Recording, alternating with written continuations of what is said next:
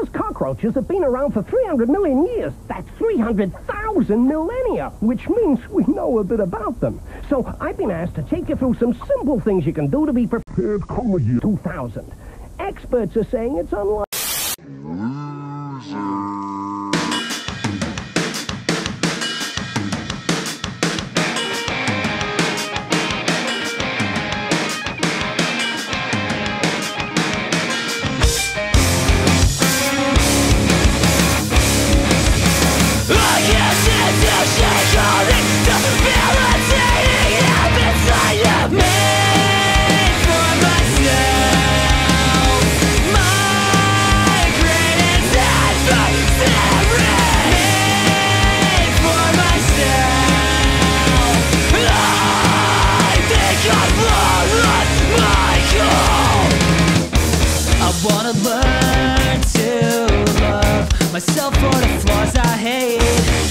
I know it's hard